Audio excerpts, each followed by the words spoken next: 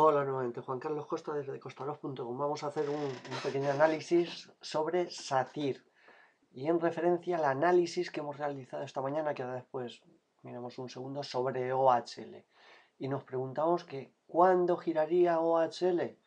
Pues cuando el gráfico que seguimos semanal cambia a verde, cambia a positivo. Y vamos a ver SACIR, como se encuentra ahora, y lo que pasó en SACIR en su momento. Tenemos en pantalla un gráfico semanal, SACIR, tranquilo, donde vimos una caída pues desde 18, desde el año 2008 al 2012, 2013, hasta un euro, hasta un euro. Ahí durante más de un año, prácticamente fueron dos años, estuvo haciendo un suelo importante y así lo estuvimos diciendo a pesar de que era un vía crucis.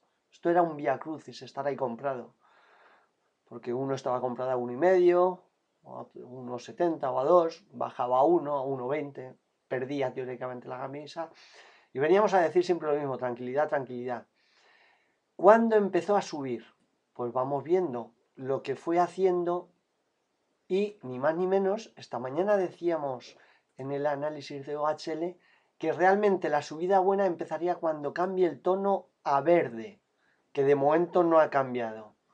Vamos un segundo al análisis para ver el gráfico de OHL, lo que estamos viendo.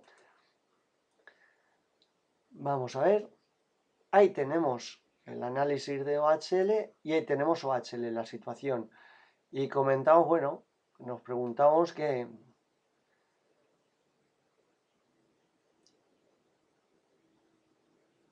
¿Cuándo comenzará la subida buena? Mirando exclusivamente el lado técnico del gráfico semanal que seguimos, la respuesta sería fácil a simple vista. Diría que cuando comenzamos una barra semanal en este gráfico que llevamos en verde, ¿cuándo será eso? Bueno, ya detallamos cuándo creemos que puede ser, pero aquí podemos ver que en SACIR empezó a estar verde, ojo, una vez que ya había más que doblado desde la zona de mínimos. Pero claro, desde entonces, esa zona de y medio llegó a subir a 5. Volvió a doblar la cotización. De manera que, ¿quién iba a decir? Primero, cuando estaba a uno y medio, o a 1, o a 2, que iba a llegar a la zona de dos y medio, 3, o que iba a llegar a la zona de 5. Evidentemente, muy pocos. Bien, es verdad que luego vino otra vez caída, llegó a 5 y a partir de ahí estamos en una situación de que ha hecho un doble mínimo, esas barras están en verde, tendríamos una directriz alcista que estaría ahí tocando en estos momentos, con un soporte en torno a 2.15, con lo cual, de momento, esto teóricamente sería una corrección para volver a subir e irse a la zona de 2.85. Y ahí ver si es capaz de superar, recuperar esa media para seguir subiendo, que es lo que nosotros pensamos que posteriormente tendría que tener una subida nuevamente a rondar los 5 euros.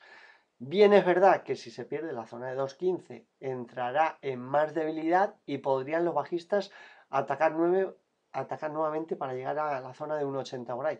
Creo que no va a ser esa opción y creo que la opción va a ser de rebotar fuertemente desde esta zona. Técnicamente, ¿cuándo tendremos una señal nuevamente alcista?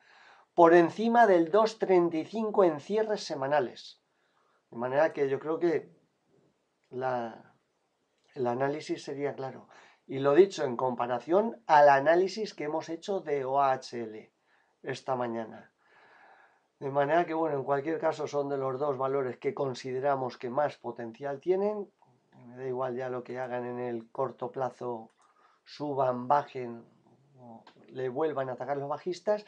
Y que hay que tener una cosa clara en el mercado actual los valores suben y cambian la tendencia, empiezan a subir fuertemente, aquellos donde realmente entra dinero final, dinero para quedarse en el medio largo, aquellos donde están entrando especulación, eh, trading, cuando se calientan, lo único que estamos viendo es que salen para volver otra vez a seguir donde estaban, tocados. De manera que, bueno, ya comentaremos eso más, más detalladamente. Juan Carlos Costa desde costarov.com